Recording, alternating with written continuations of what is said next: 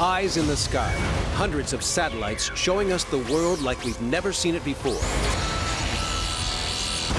What is that? October 2005. Western Canada. Lynn Hickox is navigating the desolate plains of the Alberta Badlands.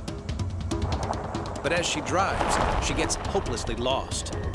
My grandson was really interested in dinosaurs, and I knew there was a dinosaur museum in Alberta, and so I went on the mapping program. Lynn's mapping program links to a series of satellites 300 miles high.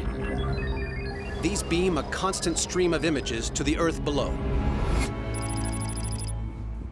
Scrolling through these satellite pictures, she scans the area around her. It's a 21st century map of barren slopes, canyons, and ravines. But as she looks at the satellite images, she sees something incredible. It was a face, it just sort of really popped out. This is an amazing structure. You look at it, you're certain it's been created by man. The dimensions, the detail, they're exquisite. Really? I mean, it's absurd. I was like, wow.